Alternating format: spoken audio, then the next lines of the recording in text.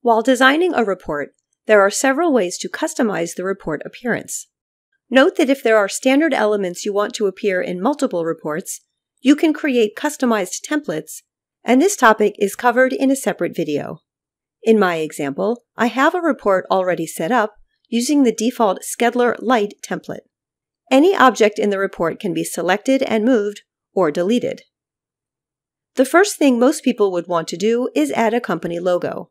To bring that image into Skedler, I'll open Images along the left and click Upload.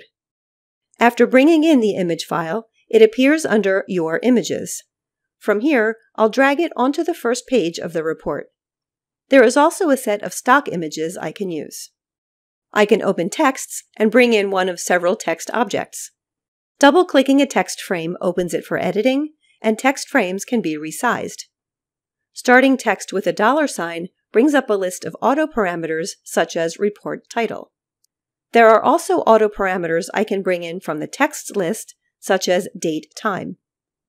Finally, the elements list contains a collection of shapes and lines I can bring in, as well as several stock text and graphic frames. Clicking Preview will show how the report will look.